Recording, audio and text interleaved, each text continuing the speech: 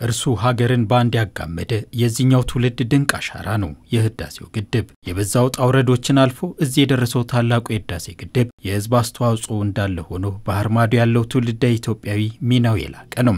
የምንኖርበት ሀገር ብዙ ጊዜ አውሮፓያኖች አመለካከታቸው ከነሱ አልፈው ለእኛ ለአራተኛ ለአምስተኛ ጀነሬሽን ብለው የሚያስቀምጡት ሀብት አለ። ስለዚህ እኔ ደግሞ ለኢትዮጵያ ባላት ኢትዮጵያ ባላት ሀብት ላይ ተረባርበን ኢትዮጵያን ሀብት ዛሬ እንድትቀዳጅ ማድረግ ሀብቷን ለልጅ ልጆቼ ለልጅ ልጆቻችን የምናተርፈው ሀብት ነው። ግድቡ እውን እንዳይሆን ባዕዳኑ በዓለም ሸንጎ ሞግተው አቁሞናል። ሆኖም ሀገርን ከግቧ ሊገታት ግን አልተቻሉም። በቅርቡ ሶስተኛው ዙር የውሃ ሙሌትና ሁለተኛው ተርባይን ኃይል ማመንጨቱ የእንችላለን መንፈስ ያላበሰና የከሳሾችን የተዛባ እይታ ያረቀ ነው። ሌሎቹም በቃ አሁን ተስፋ የቆረጡበት ነው የሚታየው። በተለይም ኢጅፕትን ብትሆን ሱዳኖችም በዚህ ጉዳይ ላይ ተስፋ ቆርጠው እጃቸውን የሰጡ ነው የሚመስለው።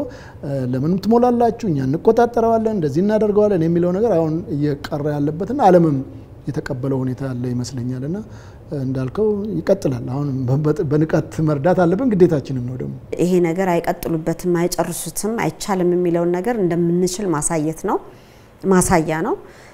ሌላው ይሄ ሁሉ ጦርነት የምናየው ይሄ ሁሉ ረብሻ ኢትዮጵያ ውስጥ እየደረሰ ያለው የህዳሴ ግድባችንን ተዳክመን እንድንተው የሚያደርግ ሂደት ነው።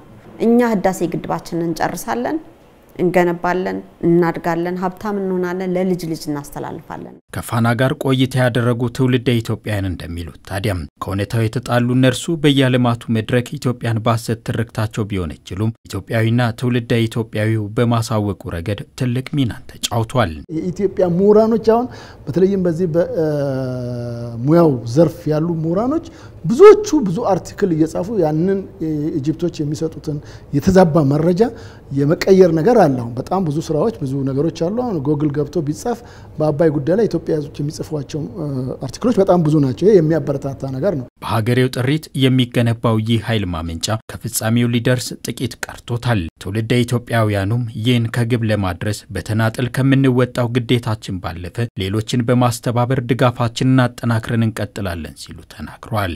ለግድቡ ማስፈጸሚያ የሚሆን ገንዘብ እንዲዋጣ እያንዳንዳችን የምንችለው እናደርጋለን። ይሄ ማንኛውም ኢትዮጵያዊ ጥያቄና መልስ ነው። ይሄ ምንም ጥያቄ ውስጥ አይገባም። ወንድሞቼ ይህን የሚሰሙና የሚያዩ ደግሞ እንደሚተባበሩ እርግጠኛ ነኝ። እኔም በደረስኩበትና በሄድኩበት ቦታ ሁሉ ይሄ እንዲሆን የምችለውን ለማድረግ እሞክራለሁ። እስከሚያልቅ ድረስ በጣም ብዙ ከራሳችን እንደው ገንዘብ እየተውን እንኳን እያዋጣን ማድረግ አለብን እና ይሄ የሁላችንም ኩራት ነው። ወገኖቻችንን በመቀስቀስ ለሀገራቸው በተለይ ቦንዱን በመግዛት ይሄ የተጀመረው ፕሮጀክት ወደ ተግባራዊነት በአጭር ጊዜ እንዲጠናቀቅ እንግዲህ ጥረት እናደርጋለን። ህዝቡን በንቃት በዚህ ጉዳይ ላይ ተሳትፎ እያደረገ ያለበት ሁኔታ አለ።